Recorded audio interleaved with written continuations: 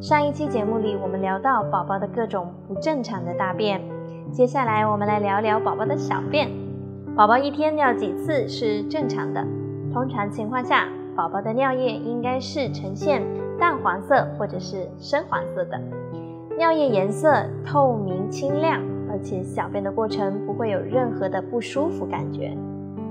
宝宝的排尿次数与摄入的奶量和年龄有一定的关系。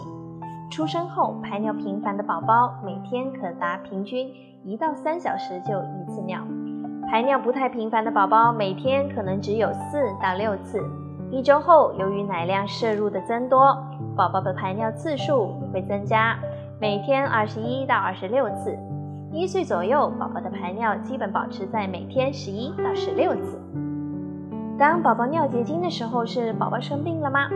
尿结晶有的新生宝宝尿液会呈粉红色，妈妈们会以为这是宝宝尿血，很担忧。其实这不是血尿，而是尿结晶，也就是摄入量不足导致的浓缩尿。增加喂养就可以好转了，不用太担心。有时候宝宝的尿颜色很黄，而且还很少，这主要是因为宝宝体内摄入的水。比较少造成的。六个月的宝宝需要增加母乳或配方奶的量。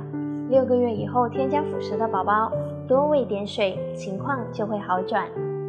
那当宝宝尿路感染怎么办？尿路感染在儿童中还是比较常见的，特别是女宝宝，通常是由尿道口进入的细菌引起的。上尿路感染会引起腹痛以及发热。